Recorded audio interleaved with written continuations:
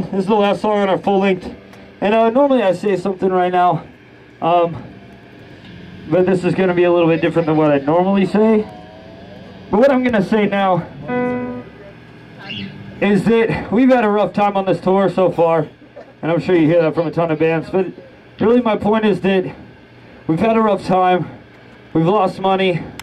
We've uh, didn't make money, whatever the case may be. We've and uh, that's all to be expected when you're a small band doing a DIY tour, you know? We've lost shows and all that crap, and uh, we've kind of lost hope, but, uh, you know, I, I'm reminded today about hope whenever I meet people like Gene, because Gene shows up and he opens up the sweet basement of his uh, apartment, or uh, flat, or whatever you want to call it. There's bubbles, and it's awesome. But, uh, and makes food for us and all this crap, and it reminds me that there is good in the world. And uh, we personally believe in a greater uh, power, but we're not here to preach that to anybody. Um, but basically, that's what this full record for me was about. It was about me writing issues that I had and where I found hope.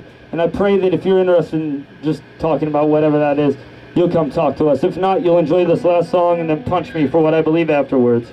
Uh, so we're Deadwords, and we really do want to talk to you about whatever you want to talk about. Um, we've got merch out there. And uh, she wants to talk about girls, I think is what I just heard, which is awesome. We can talk about that. But this song's called You Too, and it's about finding hope in my last semester at college where I hated everything.